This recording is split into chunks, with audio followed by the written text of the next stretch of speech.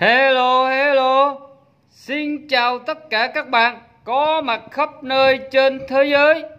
Hôm nay Trần Canh chia sẻ cách vô chậu, bonsai, cây, đinh, lăng, lá nhỏ. Mời cả nhà và các bạn cùng xem. Xin mời. Thưa các bạn, Đây là những chậu Trần Canh à, mua về để vô chậu à, bonsai. Đinh lăng lá nhỏ. Mời à, cả nhà và các bạn theo dõi Trần Canh làm như thế nào. Cả nhà và các bạn thấy nội dung này hay thì hãy like và đăng ký kênh Trần Canh Pico đây này các bạn, bây giờ Trần Canh sẽ à, chọn cái cây này để Trần Canh sẽ vô chậu cho cả nhà và các bạn cùng xem xin mời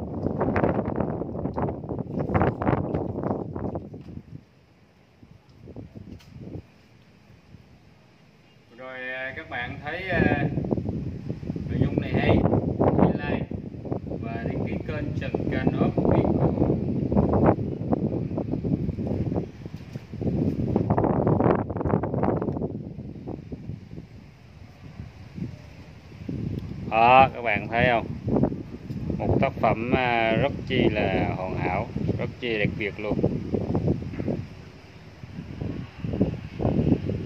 Bạn xem. Đấy.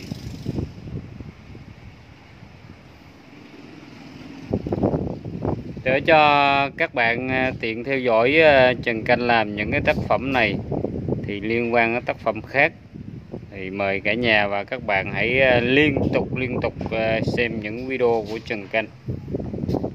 Để cho các bạn có những ờ, phút giây thật là thiên nhiên. Môi trường xanh sạch đẹp. Đấy, các bạn. Thấy hấp dẫn không các bạn? Rất chi là hấp dẫn.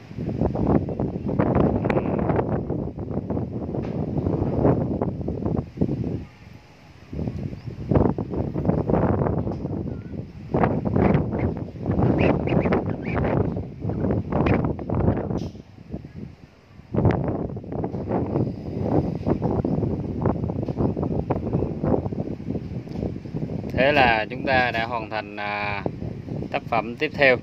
Rất là đặc biệt luôn.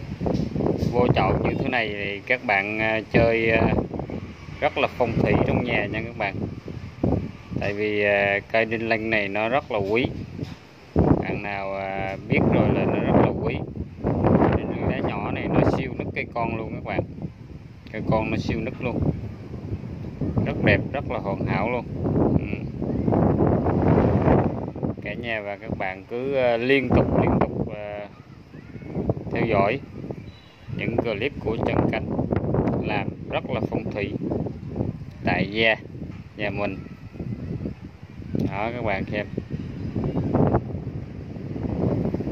Sau này ờ, Trần Canh sẽ trồng những cái cây trường sinh lên trên đây, hoặc là bỏ những đá cuội lên đây. Thì trông nó rất là đẹp.